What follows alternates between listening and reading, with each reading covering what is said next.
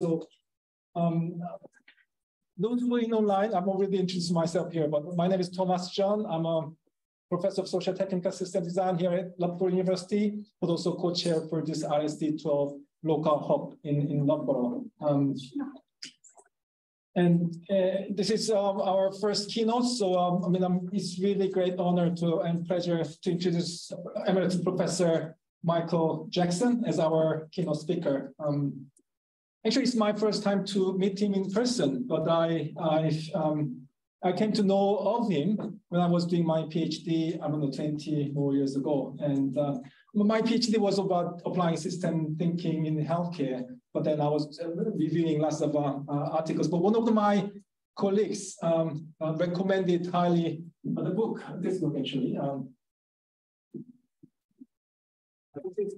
this is old book. Uh, this is called Systems Approach to Management, which Michael Jackson uh, published a while ago. At the time, I was confused about, I was reading about human factors, system thinking, systems engineering, management, ecology. It was really confusing, but this was the best overview at the time. And I didn't buy many books, but I purchased this book at the time. So thank you, my personal thank you to you. And also, I believe that uh, Emeritus Professor Michael Jackson is one of the most cited system scientists. Um, recently, I found one of the um, kind of LinkedIn uh, uh message. Uh, someone who I know in Cambridge uh, did a bit of a uh, literature review on system thinking and design thinking, and he he showed the core citation map. And in, in part of the system thinking side, there was a big kind of node. And Michael Jackson was one of the big node, along with John Sterman and Donella uh, Meadows, which are well known also in system thinking. So his influence in the field has been huge. So it's really great honor to have him here. And then obviously as a chairperson for this lecture, I was did a bit of a homework to see actually to more about uh, uh, Michael Jackson. And what was personally surprising was that the fact that he studied PP in, in Oxford, politics and philosophy and economics.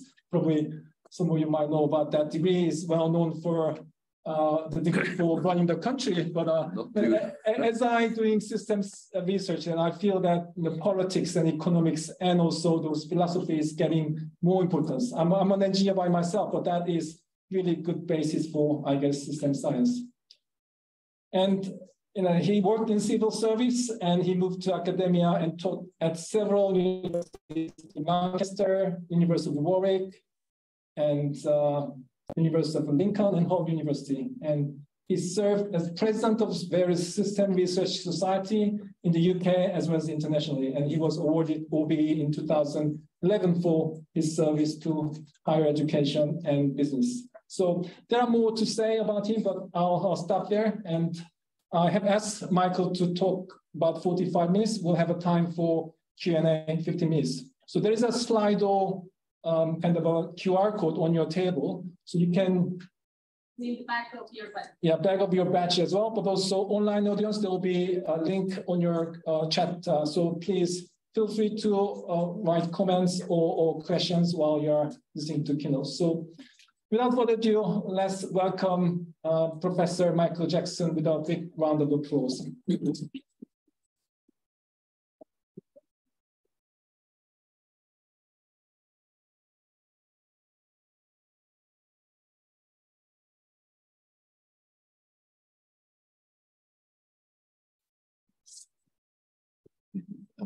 No, you don't need to have sorry.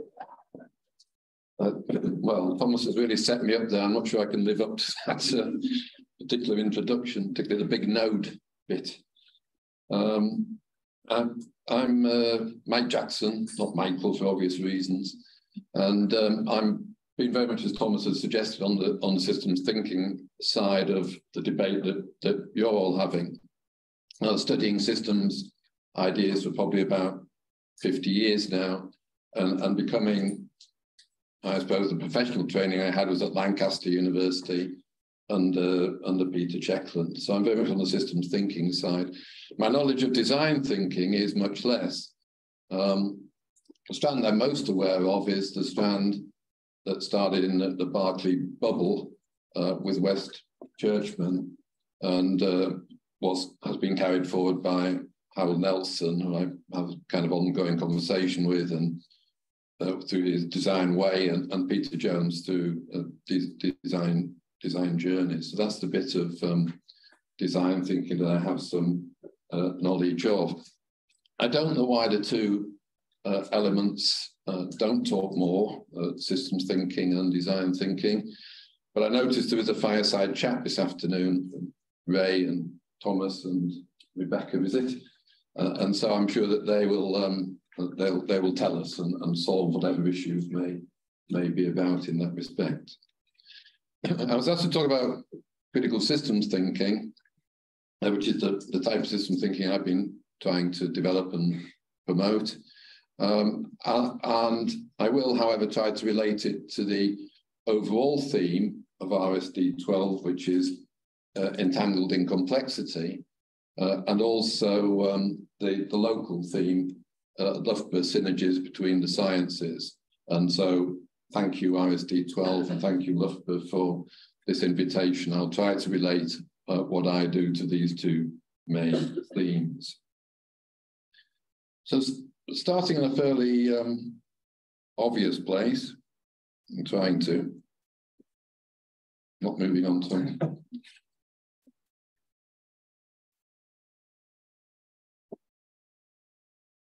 Thank you.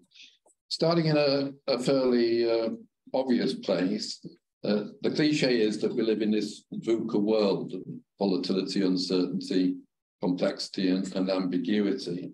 Uh, and it's that that gives rise to wicked problems, uh, the kind of problems that we, uh, we, we feel endangered by in the world as it is today. Uh, so let me say, just pick out a few things about complexity that are going to be relevant to my talk. Uh, first of all, it, it's organized. So we're not dealing with organized simplicity, such as you would find uh, in the solar system, the kind of thing that uh, Newton studied with his and, and, invented the mathematics to study and has carried the scientific method forward.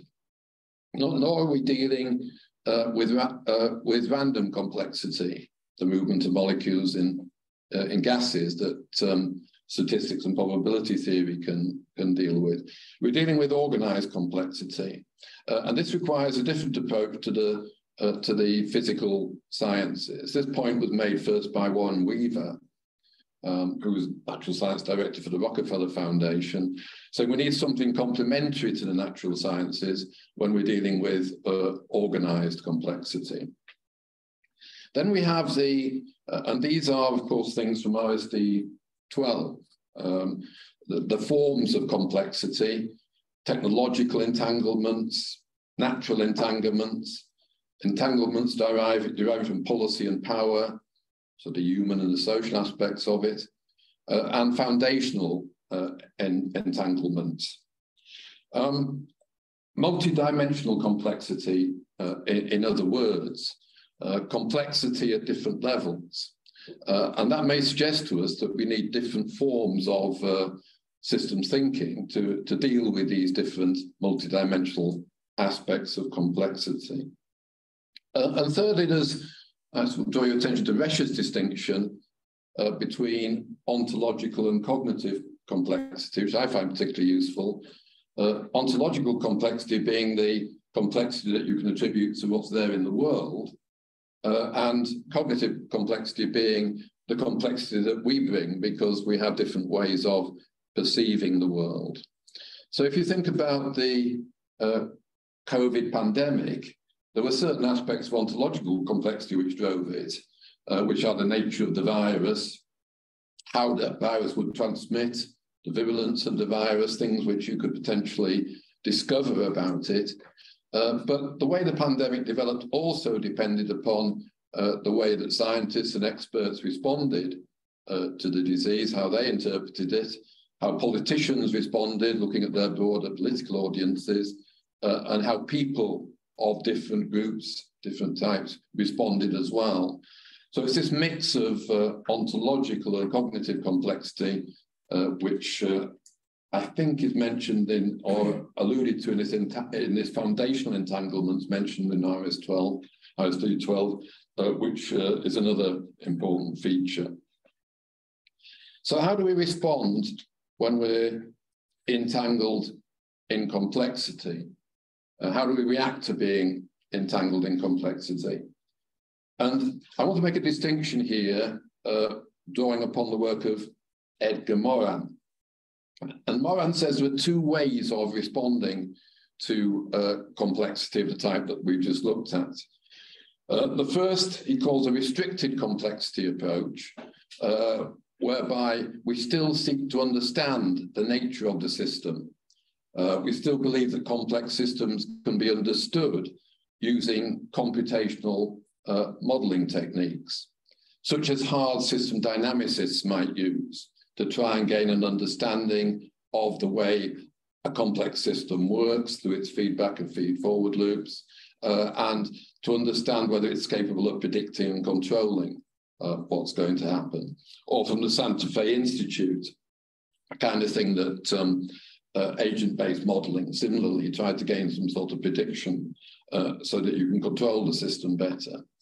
Uh, Morin makes the point uh, that this is within the epistemology of traditional science. You're, you're looking for hidden laws, uh, whether it's feedback loops, uh, the way that, that, they're structured in a system, or it's um, particular characteristics of agents, uh, which will enable you to uh, predict and control what the system is doing.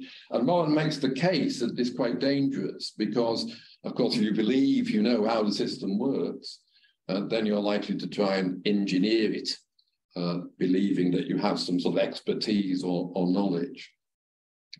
Morin, as you'll have gathered by now, is much more in favor of what he calls a, a general complexity approach, a recognition that the whole system uh, is unknowable. Uh, it's resistant to universal truths. And so the key problem is along the cognitive complexity dimension, in Morin's terms, it's epistemological, cognitive, paradigmatic. It's more to do with how we perceive uh, the world uh, than it is the world itself, because we cannot understand the whole world and different ways of looking at it uh, involve different cognitive perceptions, different, different epistemological stances, different um, paradigms. So in this context, uh, Morin says you're better to look at complexity in terms of general complexity. This requires complex knowing, which is all about self-observation. It's about the way we look at the world uh, rather than actually what we think we see in the world, of course, the two are uh, uh, intimately related. Uh, and similarly with um, uh, Luhmann, Luhmann too, an important system think of course, is very much into this second order observation. It's not so much sociologists and what they uh, that we should be looking at, what they say about the world. We should be looking at the way that they're looking at the world in order that they can say certain things about the world. Because the way that they look at the world leads them to certain conclusions and can potentially lead to certain actions in the world. So that's all important. How are we looking at the world? How are we understanding it? How are we perceiving it? How are we acting in the world? And on the basis of that, and what are the outcomes uh, because of that? That's the thing which we primarily uh, should be looking at in this sort of complex knowing or second order observation. I actually found um, just the other day a nice quote from uh, Whitehead, uh, which um, is still in my briefcase. Excuse me. I hope it is. no, it's not. It's here somewhere. Great to come across this quote from uh, Alfred Lord White, Whitehead because um, captures much of, of what Morin's saying. Uh, was, this is from di his dialogues in 1953. Whitehead, of course, uh, often uh, said to be the first process philosopher, and some, some say he's a pragmatist as well. He said, uh, White says there are no whole truths, so you can't capture the whole system. All truths are half truths. You need to look at these different truths that people bring when they're observing the system. Uh, and it is trying to treat them as whole truths uh, that plays the devil. It's trying to treat partial truths as whole truths that plays the devil, because then you think you have some expert knowledge which you can use to manipulate and engineer uh, the system. Um, so how, uh, if we're going to follow this notion of complex uh, knowing, second order observation, uh, how is it that um, we can find some adequate partial truth to use? We've got to be able to find some sort of universal truth to which we can understand the whole system, but we may be able to find some adequate partial truths. And I, I was taken on this journey, uh, this way forward, after I'd read um, Lakoff and Johnson's uh, book on metaphors. Uh, what they argue is that we as a human species have developed experiential gestalts, whole ways of looking at the world through our experience, structured set of metaphors, metaphors that hang together, uh, suitable for our successful functioning as human beings in our physical and cultural environments. So we have experientially developed some partial truths which have served us well in responding to the environments in which we found ourselves. The natural environment as we evolved, and the cultural environment as we began to uh, work together as human beings in, in, in groups and in, in societies. So once you accept that, that, that we, we sort of live according to a structured set of metaphors, you start to ask the question, well, which of these is, is adequate? What, what are they? What are these useful uh, ways of looking at the world? What, what are these adequate partial truths? And then I came, came across a book by um, Stephen Pepper, uh, World Hypotheses, uh, in which he sets out uh, four of these adequate partial truths, uh, which he believes has guided us as a human species throughout our history. Uh, and those are formism, related to the philosophy of Plato, I guess, looking for universal forms behind everything uh, that occurs. Mechanism, um, we all know, uh, came to the fore with, with, with the word Galileo, Newton, the scientific um, revolution, uh, tended to dominate all the forms of thinking. Contextualism, uh, the act in its context, which can be perceived in different ways by different people, uh, and organicism, starting with Aristotle and Hegel's philosophy being typical.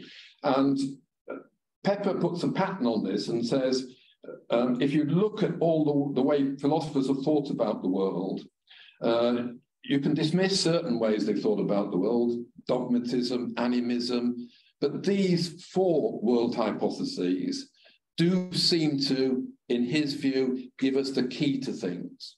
And working with these four uh, adequate world hypotheses, we get some flicker of light and we'd be lost without them. None of them can support a claim to absolute truth, but they do represent, he says, successes of cognition, things that enable us as a human species to do well. They're the creative discoveries of many generations. If you track them through the history of philosophy, the way we come to construct them and improve them. Uh, and without them, we should have to walk pretty much in the dark. So they're useful uh, guiding world hypotheses or partial, partial truths. Now, Pepper was a good, a good philosopher, in my view, in terms of summarizing, summarizing the history of metaphysics and philosophy. He wasn't such a good uh, social scientist, think about social science, uh, and these, I think that's reflected in his world hypotheses.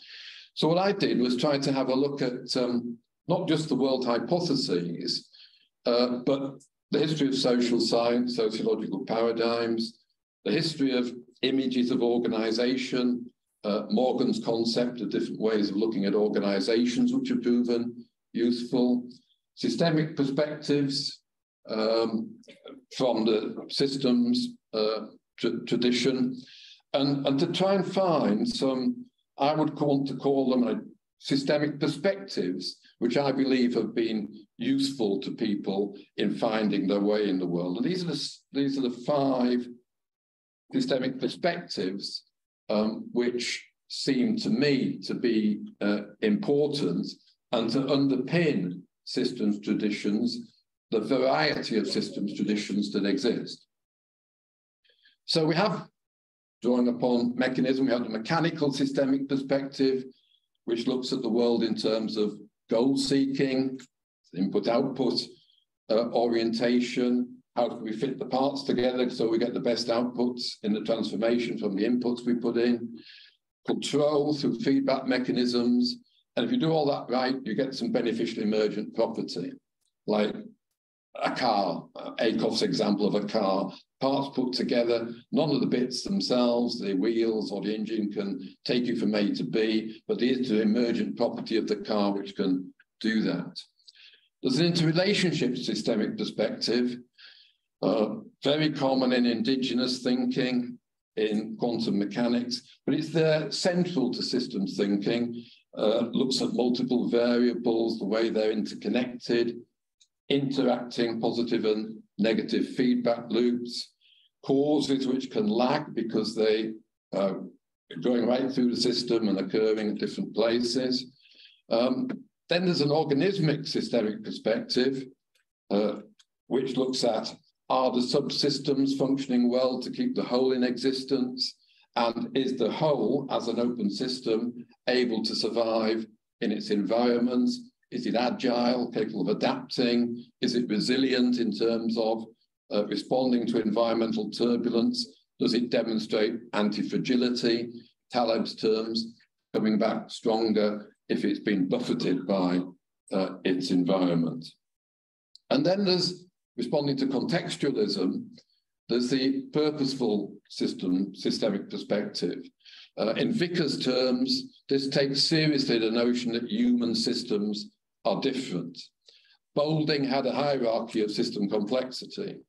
And he said, once you get to level seven, then the image becomes important.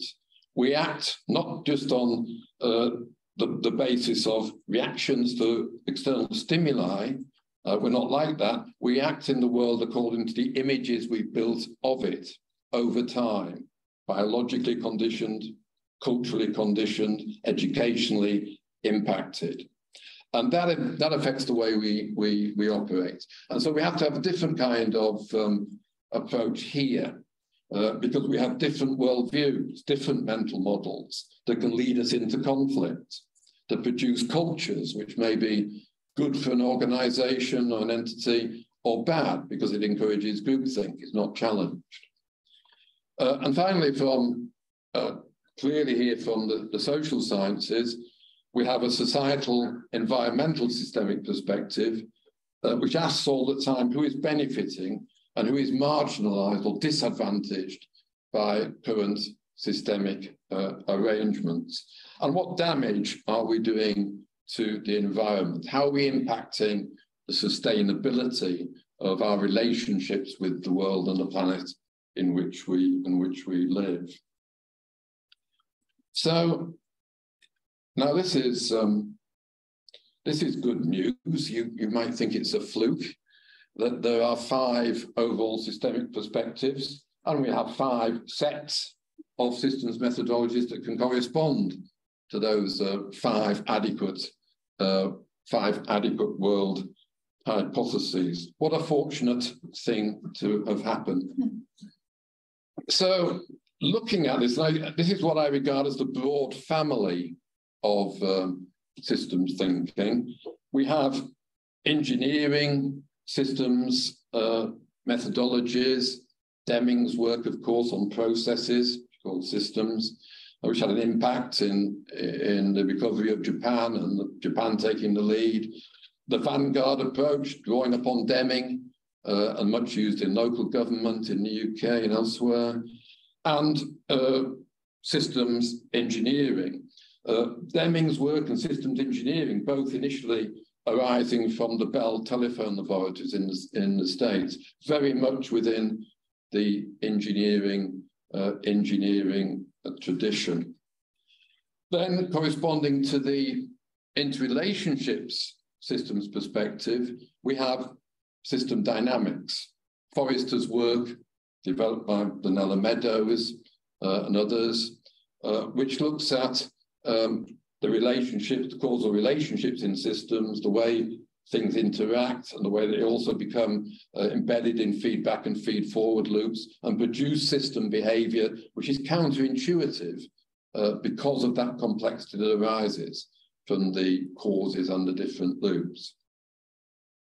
We have uh, organismic systems approaches. I call them here uh, living systems methodologies. These are approaches which concentrate most upon the way the parts need to be fitted together to function in order that the whole can be successful uh, and viable.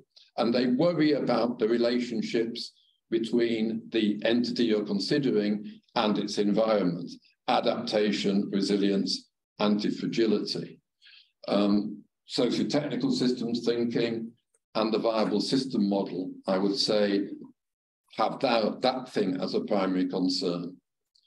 The soft systems methodologies address the uh, purposeful systemic perspective, Ackoff's interactive planning, Peter Checkland's uh, soft systems methodology, that was the school I was trained in. Uh, the things that developed from Churchman's work in the systems tradition, strategic assumption surfacing and testing, and uh, the concern, I think, first put on the agenda by critical systems thinking, uh, the emancipatory systems methodologies, which respond uh, to the societal concerns of groups being disadvantaged, and latterly to environmental concerns, such as Ulrich's critical systems heuristics, and more recently, the gender, environments, and marginalization framework of um, Ellen Lewis and Anne Stephens, the GEMS framework. So you, you've got what have proven to be adequate world hypotheses have served us well. Uh, fortunately, we have uh, systems methodology which correspond to each of those different world hypotheses. But it's not actually fortunate.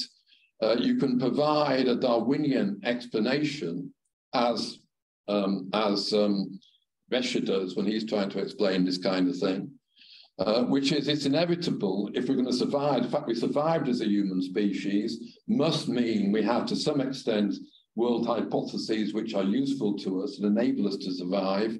Uh, and it's not surprising, therefore, that we have methodologies, technologies that correspond and enable us to act in the world in ways in tune with the world hypotheses uh, we need in order to uh, in order to survive.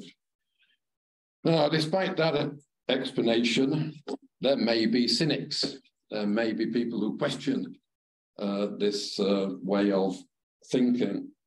And these are some of the questions they, uh, they might ask. Uh, why just five of each? Why five world hypotheses? Why five types of systems methodology? Well, all I can say is that new contenders put themselves on the same level as useful ways of viewing the world and acting in the world would need to prove themselves as equally adequate in uh, in, in term, in uh, Pepper's terms. Will any perspective or methodology eventually prove itself the best? Uh, well, the big candidate for this, of course, is uh, was perhaps mechanism with the uh, scientific revolution, uh, it looked as though all problems could be solved, as though the scientific method that was giving us a grasp of the physical sciences could be extended to the natural sciences, biology, and on to the social sciences. It looked to be a candidate for uh, being the one approach, the one methodology that could uh, do everything. But as been pointed out, there are there are dangers. Uh, there are dangers in, involved in this. Uh, the triumph of the scientific revolution has tended to put other ways of seeing the world uh, into into the background, pushed it, pushed them away, pushed them into the background, and they're only just sort of re-emerging, I think. So there are real dangers if you take the scientific method as the potential, as providing the potential uh, to be just the one methodology uh, we need. We do seem to need a set uh, uh, of, of, of approaches. The work of Newton, uh, Galileo, um, uh, Bacon, and, and Descartes uh, triumphed in the scientific revolution, forced other ways of thinking out, and that's, but that became potentially dangerous. It was reacted against, of course, by the Romantics, and now we know some of the problems that arise when this approach becomes uh, dominant and pushes out pushes out others. We tend to forgive people like uh, Galileo and Newton, the scientists. Uh, we don't like Descartes, do we? I bet nobody in this room likes Descartes. System thinkers don't like him because of his reductionism. Um, design thinkers don't like him because of his dualism. Nobody likes Descartes. There's another reason for, for not liking him. He wasn't very kind to animals. and this is the this is the shift that happened in the 17th century. Uh, the shift from the sort of Renaissance humanism of, of um, Shakespeare and, and, and Montaigne, uh, who were amazed by the amazed by the world, saw its multifaceted characteristics, um, who thought, who lived in doubt. They didn't think they had uh, the answers, and suddenly we get Descartes looking for certainty and all kinds of explanations why this occurred. We needed certainty after the after the religious problems of the Thirty Years' War. Descartes looked as though he could bring that bring that certainty, but things followed in, in its wake. And let me give you a horrible example which perhaps illustrates it.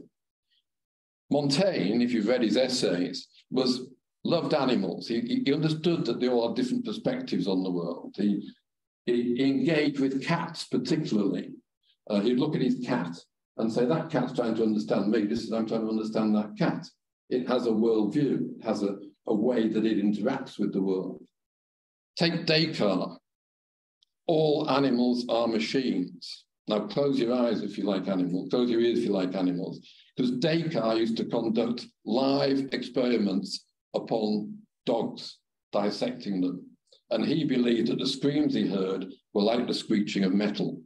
All animals were reduced to machines. A huge shift in thinking uh, within perhaps about 50 years. Can the various perspectives be harmonized and amalgamated? Not really. They give you different ways of um, viewing the world and acting in the world. Why would you want to try and compress them? Um, they're good at different things. So if you have a screwdriver, you might be able to use it as a hammer uh, and uh, or a sword, something so if you must, but they're not going. It's not going to be very good at it. Uh, even a Swiss Army knife uh, is not really good at what all various things can do. A saw or, or a screwdriver or a bottle opener. But certainly we can improve these ways of seeing the world. Certainly we can enhance these systemic methodologies. And certainly we can understand the value of non-Western systems, traditions, and try and see what we can learn from those as well. So my answer to the first uh, dilemma, how do we, how do we um, uh, navigate our way to entangled complexity is to use these partial truths, which have proven beneficial to us over time, enhance them, use the systems methodologies that we have appropriately, in combination if necessary, uh, in order to find our way and navigate our way in untangling some of that complexity.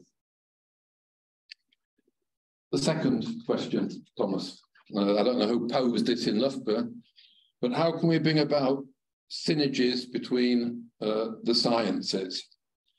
Uh, there are two ways, it seems to me, of, of doing this.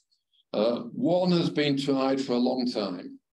Uh, it comes through in Bogdanov's tektology, a universal science of organization, in the search for general systems laws, in cybernetics to some extent, universal features of all systems, in complexity theory of the Santa Fe time. I've been, if you look at the systems engineers, uh, they still have bodies, uh, research bodies, looking for these universal systems laws.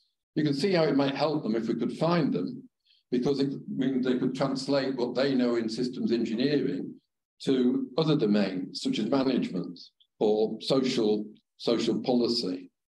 But then it's not going to happen. It's like waiting for Godot. You're never going to find these universal systems uh, systems laws, and you kid yourself if you think uh, if if you think you are because of emergence. as Boulding pointed out, different levels of complexity lead to different types of emergence. And when you get to the human level, working with mental models, you can't expect the same kinds of models of complexity to work, which work at the mechanical uh, level. Uh, and if you want an illustration of this, then you can find it in those that have tried to develop universal laws. General systems theory all but faded from view. Cybernetics has divided itself into first order, second order, third order, as it's tried to come to grips with different forms of complexity. There are as many types of complexity as there are as there are social theories. Complexity theory has become totally promiscuous. It'll, it'll go to bed with any social theory it can find.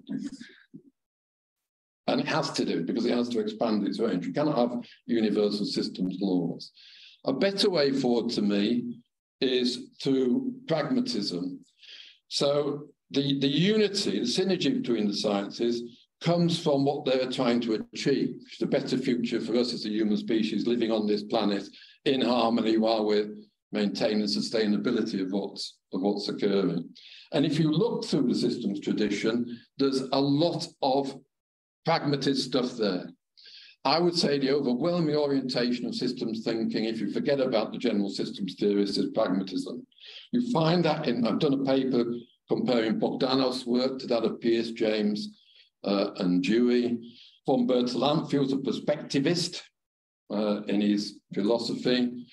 Wiener reacted a bit about the notion that cybernetics was a universal science. You have British cybernetics giving up on the idea that the brain was something that tried to mirror the world. The brain is actually something that tries to help us to cope in the world. Uh, therefore, you can learn about the brain from constructing adaptive machines. Beer's viable system model, Pickering would, uh, would argue, is something that you build an organization on, but then you let it evolve with its environment a dance of agency, finding out what it can learn from its environment and what it's capable of, and the environment finding out what systems capable of at the same time. Uh, Pickering link, links it to James's pragmatism. Soft systems methodologies, of course, this trend, the Berkeley bubble, um, uh, was directly linked to American pragmatism. Uh, Singer was a, a, a, pupil of James's. Churchman was a pupil of uh, Singer's. Ackoff was a pupil of Churchman. Vickers was involved in the Berkeley bu bubble. He influenced Checkland, as did Boulding, uh, uh, of course, with his level seven um, uh, mental model form of thinking. And a, a similar tradition for pragmatist tradition for emancipatory systems methodologies uh, stemming from Churchman and through the work of Ulrich. This is what I see as the heart of pragmatism on which we can unite um, the various strands of the systems movement and systems thinking and design thinking. We reject the spectator theory of truth. Uh, that whole thing which dominated Western philosophy from the time of Plato. Let's get beyond the reflections on the wall of the cave to the real truth. And Descartes with his attempt to gain certainty about the world. Let's forget that. It's misled Western philosophy, taking it down a blind alley. Uh, there are no universal truths, fallibilism. Uh, truths are, we can, we can act according to what we believe to be the truth now and see where it takes us, see if it pays off uh, uh, in the world. But it comes about, truth comes about through a community of, uh, of it involved, the practitioners um, uh, ratifying it and saying it's the truth. But beliefs can still be evaluated according to their consequences. So we're not left in the realm of relativism. Uh, we can still see whether these beliefs, whether the adequate world hypotheses, if you like, uh, take us anywhere, uh, work with them. What good do they bring us? How do they operate in the world to uh, improve things? Uh, putting those two together, Putnam, one of the key commentators on pragmatism, writes that one can be both fallibilistic, not believing universal truths, and anti skeptical, we don't have to be relativistic, is perhaps the basic insight of American pragmatism. Incidentally, uh, Putnam was influenced by Churchman as well. I didn't know that, but he was much influenced by Churchman. James, reality is a multiverse giving rise to multiple truths. And theory is not as attempts to mirror the world. Uh, uh, his book, of course, important him bringing this idea across from the original pragmatists. Uh, theory is not as attempts to mirror the world, but as instruments of action, which we test out uh, in action. Now, if you set, accept pragmatism uh, as a way forward for systems thinking uh, and design, these, I would argue, are the benefits that we start to reap. First of all, the systems tradition is divided. Parts of it don't speak to uh, don't speak to uh, other parts. The, there's those who try to keep it very much in the close family. There's a presentation out there by the Royal Academy of Engineers. They like to keep systems thinking in the close family. They should seek to extend their way of thinking a bit more to some of these other systems traditions. They need to stop talking in terms of problems and solutions. That's not the world we're in today. Let's look at this broader range of the extended family of systems traditions. And pragmatism can bring these things, uh, can bring these things uh, together, give us more unity uh, of, uh, of purpose. If you look at Taoism or Confucianism, they've got pragmatist roots. If you look at Jung Porter's Sand Talk or Goodchild's relational systems thinking from the indigenous traditions, they've got pragmatist ways of thinking. It will help extend the dialogue to Eastern and indigenous traditions of systems thinking, help the engagement with those. If we accept pragmatism and see systems thinking as a form of pragmatism, we can engage more fully and have greater influence on contemporary debates in philosophy, uh, social theory, and social change. Systems thinking tends to be a thing on itself, not taken seriously by social scientists, people in other disciplines. We can engage in those debates properly if we know what our philosophy is. Because, as Bernstein says, important conclusions in 20th century philosophy can be understood as variations on pragmatic themes. It's that way of thinking which dominates those debates. Actually, also the debates that stem from the work of Heidegger and Wittgenstein. You can relate to those. And what can we contribute? We can learn from them. What can we contribute? Well, try reading some of the pragmatist books by Misak or Bernstein or Putnam or Rorty. Uh, they move away from the original intention of pragmatism, uh, which was to get down to helping the everyday practical concerns of men and women. Pragmatism, despite its initial hopes, has become too philosophical for its own good. We can help it return through our systems approaches, systems methodologies, to help with everyday practical concerns of men and women. So this is the final slide. Doing well, Thomas. You start me five minutes late, so I'll finish three minutes late. Uh, so what has critical systems thinking achieved in the 40 years of its existence? This was, uh, it's provided, I think, a critique of the variety of systems approaches and methodologies, uh, what their strengths are, how they engage with the world and where they're successful engaging with the world, but also their limitations. They all have limitations. Got to understand the whole system. So any attempt to address it and, uh, and change it is going to be partial.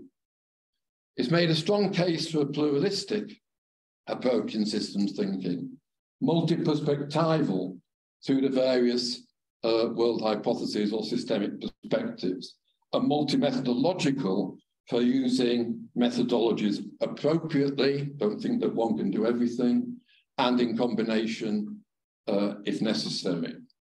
That, I think, enhances the practical orientation of systems thinking uh, by, and we've done reflecting in critical system thinking, how you can do multi-methodological interventions.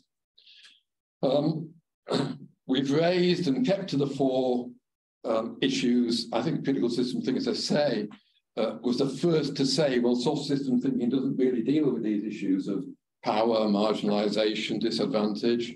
So we brought that to the fore in critical systems thinking.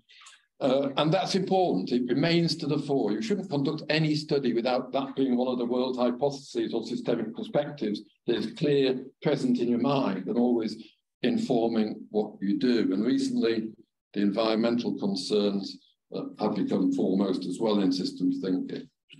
And finally, I think uh, it's found a philosophy, pragmatism, uh, which can potentially unite the various strands of systems think of, of systems thinking, help us to engage as well with contemporary debates in philosophy, social science, and social change. So that what that's what I think critical systems thinking has achieved since it was founded in the early 1980s. The case I'm making uh, is that this enables us, this gives us insight in how we need to deal with being entangled in complexity through the use of useful partial truths and the ways of acting associated with them. And it gives us insight uh, into how we need to achieve a synergy between the sciences, not by abolishing their differences, uh, not by saying the same laws apply in all the sciences, but by looking at the purpose served by those sciences, which is improving uh, the human condition, the state of life on Earth for all members of the human species living on this planet in harmony and sustaining the planet itself so that it can uh, we can keep living in it. Okay, thank you very much.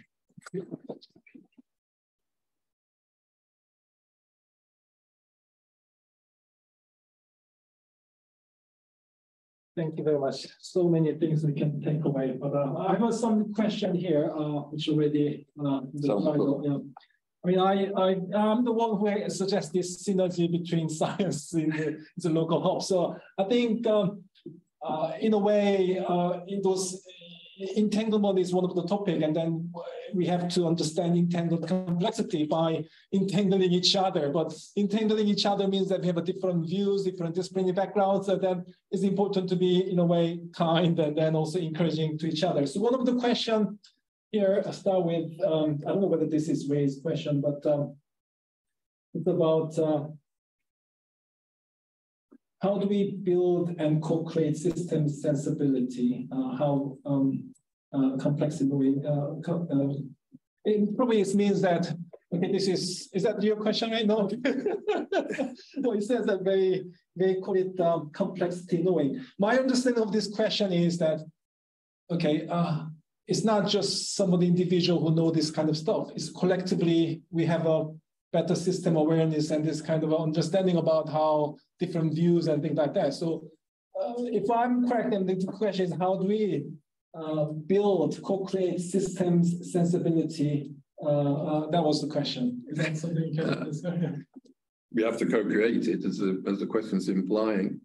Um, I'd like to take that in a particular direction. I'm not sure it's what was implied by the question. Um, that direction to say why is there not more systemic sensibility about the place, um, uh, which there should be, and, and, it's clearly because of the dominance that mechanism has had, uh, and people still default to the mechanistic way of thinking. Uh, with the scientific revolution, the success of the scientific revolution, it tended to replace other modes of thought became the dominant mode of thought. And to an extent, we're still living with that, although other ways of thinking are starting to come forward again. People are looking more organismic aspects of the world, thinking of it that way. Uh, uh, the, the pe people looking at the environmental issues, uh, again, all the things that were kept alive by the romantics, but in the background, when uh, the scientific method and the technology it produced, an industrial revolution carried all that stuff forward. Now, uh, the other side of why there's not more systemic thinking about is that it's not taught anywhere, really. Um, universities are divided into uh, particular disciplines. Individuals gain their advancement by uh, publishing in particular disciplines. Interdisciplinary work, despite all the uh, all the words that are said about it, is still uh, it's, it's still infrequent. Transdisciplinary work, where are the systems groupings in, in universities these days? Um, they're struggling for the, for the most part. At the time when, more than anything, uh, we need an alternative way of viewing the world, different perspectives on the world to come to the fore again because of the dangers we're put in by the dominance of the scientific, scientific method. Uh, we have no, we have nothing where people are being taught these these alternatives. Yeah. It's an educational issue, but a hard one to crack. Okay. Good. I, I, I think we'll touch on that topic with the uh, fireside conversation later, uh, but that's really helpful. Um, but I mean, I, probably this is a more personal question rather than here. Um, I was talking to Ray uh, this morning that as a system thinkers, we can be more frustrated by what's going on around, around the world, or because we see some of the bad decision made by you know some people. But how do you cope with that frustration yourself then, yeah, as a you know, the system thinker? i suppose I'm bloody stubborn. um, I, don't, I don't know. I mean, we, we all are of doubt. I'm, uh, it, it, it, well, I'll answer it in a personal way. It's given me a life. Um, I, started thinking in a systems way almost at school, I feel. You know, they were trying to teach me regional geography. You divide your country up and look away. I thought, something wrong with this regional geography. You know, what about the, the country? What about the economic sectors that it's involved in? Uh, and then I got interested um, in systems thinking at university through sociology uh, through Marx and uh, systemic thinkers of, of that time. Then did my Checkland stuff. Um, uh, and so then became eventually, I'm glad I worked before I became an academic, but I did become an academic. And so it gave me a life in that respect as well, it gave me some income um, as an academic and a, and a consultant. Um, and I never lost real, I never lost faith in it. Uh, and now as I get older, it gives me a way of looking at my role, my place in the world as well. Okay. Uh, to philosophers such as uh, systemic philosophers such as Spinoza, I can quietly move towards my end, thinking in systems terms as well. So it's carried me through this life, and I'm stubborn about it. Writing another book now, and sometimes I have doubts when I'm writing it, but I have to plow on, have to try plow on to make the points. You've got to be, you've got to be bloody stubborn to do that. okay, um, there are quite a few questions coming up. So uh, probably this is also quite interesting question about, I mean, as a, probably there are these people with a design background, we, we like more practical things. You suggest something there about pragmatism, um, but I guess one of the question here is that um, what would you say this means for decision makers in an increasingly complex world? How do you make this even more practical or actionable uh, yeah. Well, I, I, kept away from the practical, actionable stuff uh, for the reason that the previous question was alluding to. Um, using systems ideas properly, does require shifts in thinking, shifts in, in, in mindset in order to use the particular systems methodologies and the systems tools appropriately. So I've been trying to talk about a shift in mindset, really, in what I've done uh, this morning. But there are tools which enable us to reinforce those particular mindsets, which I think need to come to the fore again in a sort of second enlightenment. The first enlightenment having been taken over by the scientific method. We need a, a new radical enlightenment, as it as it's called, where these other ways of thinking uh, are brought to the fore again. And we do have practical tools which can help us with that. Of course, what I present in many ways is an overview and an ideal type. And in actual intervention, um, what I'm presenting is something that you can reflect upon uh, in, in thinking about how you're constrained in a particular intervention to think in all these ways and to use this range of tools. You're never going to be able to do critical systems thinking perfectly, uh, that's ridiculous and, and it's wrong to try.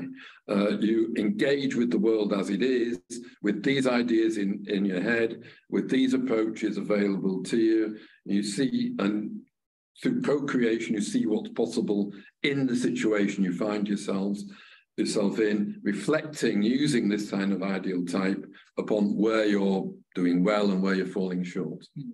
Great, thank you. I mean, I also personally see many tools designed for system thinking used in a very linear way. So your point about having mindset right means that you can use tool in a way it is intended. But I often see that you know, good tool, but can be used for quite linear way, but also the tool for linear thinking can be used for quite system thinking if you have a system mindset. So it's not about tool, but mindset is often very important, but actually also tool is important uh, to, to make it more practical. Um, it's it's hard to. I'd agree with that to some extent, but it's hard to use uh, all the all the tools tend to.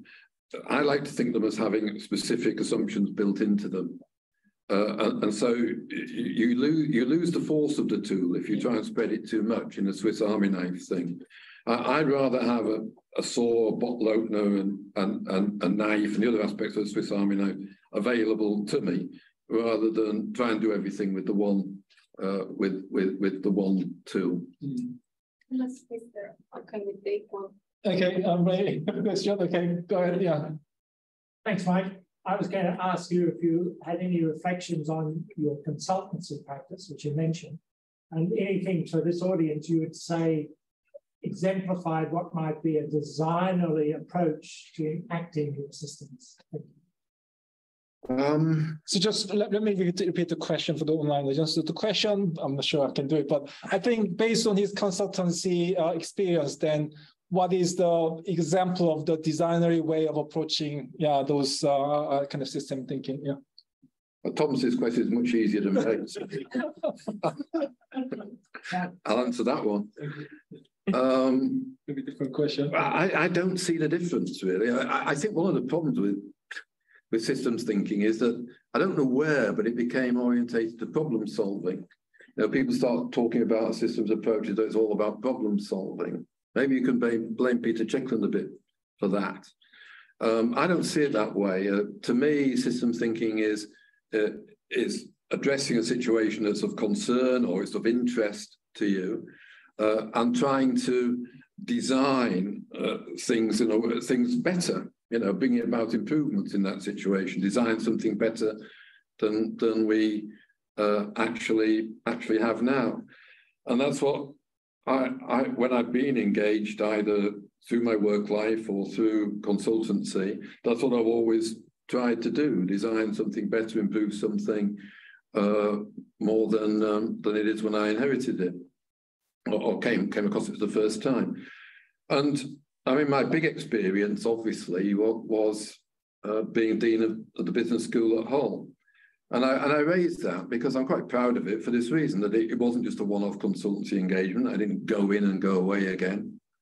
Um, uh, it, it, was over a prolonged period of time. And I used systems approaches in a design mode right throughout the 12 years when I was Dean. Partial systems approaches trying to improve the efficiency of the uh, of the business school. So it gave a better return to the university, which potentially might reinvest back in the business school. Uh, so that it would be structured to correspond to the world in which it which it faced. It learned it way its way to what kind of business school it could become. Just testing, fire alarm testing. Sorry, we'll go, go off. Yeah. To try to try and put in place participative processes whereby people could feel engaged and part of decision making in the business school, looking through the lens, the emancipatory systems perspective all the time. What were we doing for uh, people of different sexual orientation? What were we doing for people who were disadvantaged in Hull? Uh, what were what was the percentage of women in senior positions in the in the business school? What were the interactions between different parts of things I was managing? Too many uh, excellent researchers and nobody's there to teach the students. You can draw your causal loop diagrams around, around those kinds of things. So bringing to bear all these partial truths and gradually learning uh, our way to getting the business school to be better uh, than it was when it when it began was for me a designing experience uh, on one which uh, I'd like to think was relatively successful. We ended up as a triple crowned Triple Crown Business School with 185 staff. We started with nothing with about 25 staff. Good, thank you. Uh, just one last question from online. Um, so many people claim to be system thinker. What does it mean to be a system thinker? How do you get better at it and how do you get more of it? Um, I mean, you talked about this for 45 minutes, but I guess is that something you can add on? Yeah, Well, I will do a little bit. it might sound grumpy. Uh, there are a lot of people that that use the systems language these days. It, it, it's popular. Um, people like to use the word we're being systemic or, or, or we're being uh, holistic, um, but the, the, they don't have the, the background in systems thinking or the knowledge of the history of systems thinking, uh, which I think they would need uh, in order to, not to just gradually reinvent the wheel. Uh, you can see the wheel being reinvented all the time. I think you, socio-technical systems thinking, I mean, what a fantastic tradition of thought, but that suddenly almost disappears from view. And people are bringing up again many of the aspects of socio-technical thinking as important ideas within the systems approach. If they knew the history, uh, they wouldn't start from scratch reinventing the wheel. They would start from somewhere, uh, somewhere positive. So it irritates me. It, it irritates me that people throw around the systems language with the potential for discrediting systems thinking as well, without knowing anything about uh, the history of it and what it's uh, genuinely and really about. And we don't seem to be getting any closer to addressing that problem, establishing uh, systems uh, groupings in university which can play an important part in, in giving people the background they need to be able to say they're proper systems thinkers uh, and take, take the transdiscipline forward. There's some progress uh, with the systems thinking apprenticeship, which uh, Ray was heavily involved in designing, or operates at the Open University, Exeter, Birmingham, etc. About seven or eight more providers now. Uh, but not enough. We need well-established departments in universities who can understand the history, teach systems thinking as a complement to those departments which are doing their own thing in the sciences or arts or whatever, uh, and take the transdiscipline forward without having to reinvent the wheel and without not knowing what the what should already be within there and understanding. Thank you, thank you very much. That's why we invited to, to teach us about history of the system thinking. So let's uh, finish with a big round of applause and then uh, So thank you, online audience. We are finishing this uh, keynote lecture. We'll come back at uh, uh, is that uh, yeah 1:45 or 1:40. So it's a lunchtime. Lunch will be served in a restaurant over there. So there's a kind of buffet cafeteria, so you can choose what you want there. Uh, so please come back at 1:40. Is that right? Okay. Thank you.